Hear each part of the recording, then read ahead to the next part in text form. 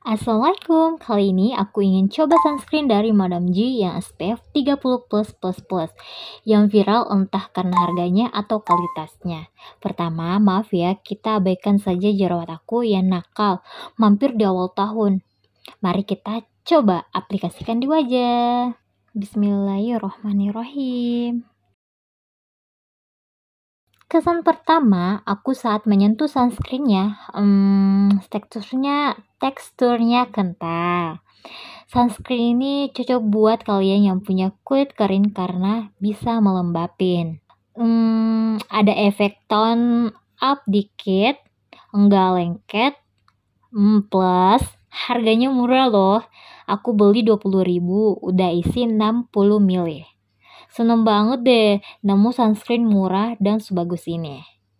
And rating 9 per 10.